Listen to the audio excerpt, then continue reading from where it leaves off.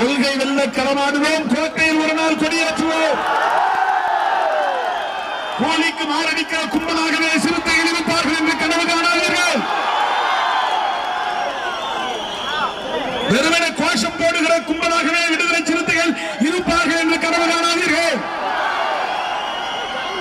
எழுபது வயது வரையில் அரிதாரம் பூசிவிட்டு எல்லாவற்றையும் அனுபவித்துவிட்டு ஆட்சி அதிகாரத்திற்கு வர விரும்புகிறவர்கள் இருக்கிற போது முப்பது ஆண்டு காலம் இந்த மக்களுக்காக தொண்டாற்றிய சிறுத்தைகள் ஏன் ஆட்சி அதிகாரத்திற்கு வரக்கூடாது?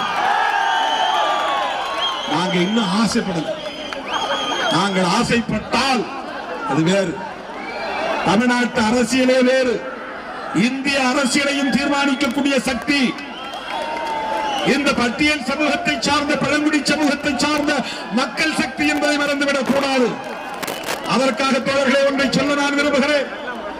வருகிற மார்ச் நாலாம் தேதி இந்த சட்டத்தை எதிர்த்து புதுதில்லியில் சலோ தில்லி என்று ஒரு பேரணி நடத்துவதற்காக அம்பேத்கர் பேரன் பிரகாஷ் அம்பேத்கர் அழைப்பு விடுத்திருக்கிறார்.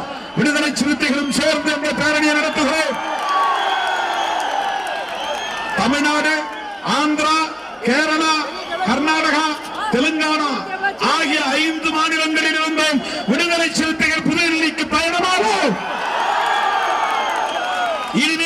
களம் தமிழ்நாடு மட்டுமல்ல ஒட்டுமொத்த இந்தியாவாம் எங்கள் களம் என்பதை தெரிவித்துக் கொள்ள கடமைப்பட்டு இருக்கிறேன்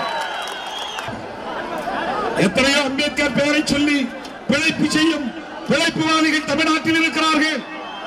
அவர்கள் மோடியின் காலடியில் வீழ்ந்து கிடக்கலாம்.